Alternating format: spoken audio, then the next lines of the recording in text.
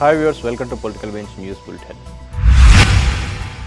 Prakasam జిల్లా liquor king lobbying Andhra Pradesh తరహాలో తెలంగాణ ప్రభుత్వం కూడా మద్యం దుకాణాలను తానే స్వయంగా నిర్వహించాలని యోచిస్తోంది. ప్రభుత్వ ఆధీనంలో మద్యం షాపులను నడపాలని ప్రకాశం జిల్లాకు చెందిన లిక్కర్ కింగ్ లాబింగ్ చేస్తున్నట్లు ఆరోపణలు వస్తున్నాయి. తెలంగాణ ఎంపీతో కలిసి లాబింగ్ చేస్తున్నట్లు చర్చ జరుగుతోంది. ప్రభుత్వ ఆధీనంలో షాపులను నడిపితే ఖజానాకు లాభాలు ఎక్కువ ఉంటాయంటూ సీఎం కేసీఆర్ను ఒప్పించే ప్రయత్నం చేస్తున్నట్లు తెలుస్తోంది. అప్పుడు ఫస్ట్లో ఉన్న రాష్ట్రం ఇప్పుడు లాస్ట్లోకి వచ్చేసింది. ఉపాధిలో ఏపీ పరిస్థితి ఇది. ఈ ఏడాది మార్చి వరకు ఉపాధి హామీ పథకం పనులలో దేశంలోనే ప్రథమ స్థానంలో ఉన్న మన రాష్ట్రం ఇప్పుడు అధమ స్థానానికి పడిపోయిందని మహాత్మా గాంధీ జాతీయ ఉపాధి హామీ పథకం రాష్ట్ర కౌన్సిల్ సభ్యులు ఆందోళన వ్యక్తం చేస్తున్నారు.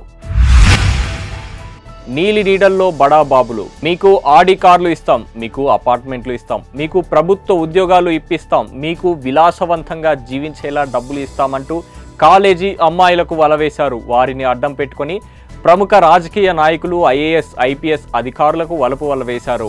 ఇద్దరు లైంగికంగా కలిసి ఉన్నప్పుడు రహస్యంగా వీడియోలు తీశారు. ఇక అక్కడి నుంచి బెదిరింపులు బ్లాక్మెయిల్లు మొదలుపెట్టారు. కోట్లాది రూపాయలు బలవంతంగా వసూలు చేశారు. ఒక మాజీ ముఖ్యమంత్రి మాజీ గవర్నర్కు చెందిన వీడియో క్లిప్లు కూడా దొరికాయి.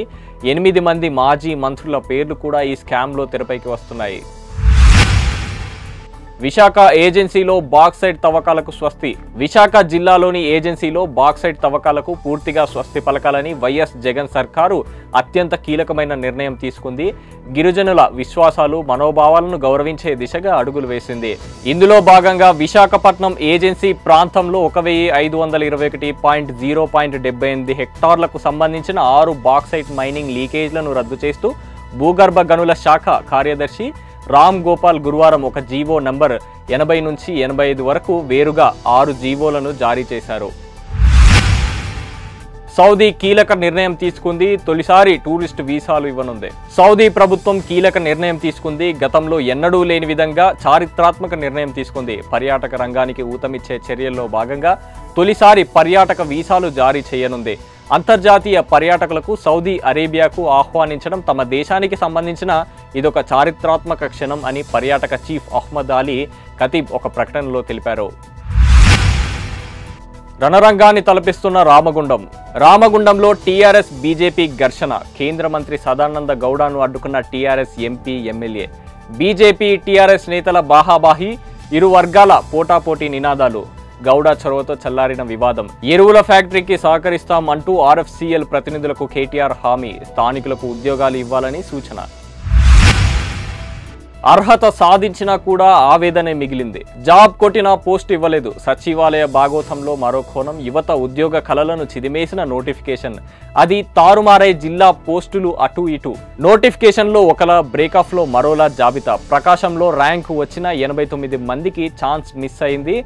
చిత్తూరులో అర్హత ఉన్నా కూడా కాల్ లెటర్ అందని తీరు.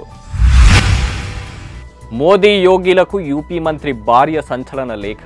విడాకుల దరఖాస్తుపై సంతకం చేయకుంటే చంపేస్తానని తన భర్త అయిన బాబురాం తనను చంపేస్తానని తుపాకీ గురిపెట్టి బెదిరించాడని నీతూ నిషాద్ ప్రధాని సీఎంలకు రాసిన లేఖలో పేర్కొన్నారు.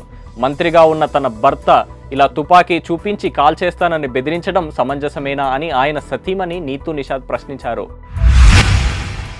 బీజేపీలోకి యోగేశ్వర్ సందీప్. ఒలింపిక్ కాంస్య పథక విజేత స్టార్ రెజ్లర్ యోగేశ్వర్ దత్ మాజీ hockey captain Sandeep Singh political innings ప్రారంభించారు. వీరిద్దరూ గురువారం బీజేపీ తీర్థం పుచ్చుకున్నట్లుగా తెలుస్తోంది.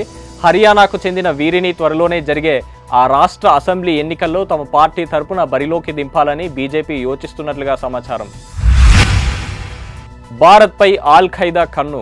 కాశ్మీర్ నిప్పు క్రమంగా రాజుకుంటున్నట్టుగా తెలుస్తోంది. జమ్మూ కాశ్మీర్కున్న ప్రత్యేక హోదాను రద్దు చేయడం జీర్ణించుకోలేని పాకిస్తాన్ దాని మద్దతుతో పనిచేస్తున్న ఉగ్రవాద సంస్థలు భారత్లో దాడులకు కుట్రలకు చేస్తున్నట్టుగా నిఘా వర్గాలు గత రెండు వారాలుగా హెచ్చరిస్తున్నాయి. ఇప్పటికే కొందరు ఉగ్రవాదులు దేశంలోకి అక్రమంగా ప్రవేశించారని వారికి డ్రోన్ల సహాయంతో ఆయుధాలు అందించే యత్నాలు జరుగుతున్నాయని తెలిపారు.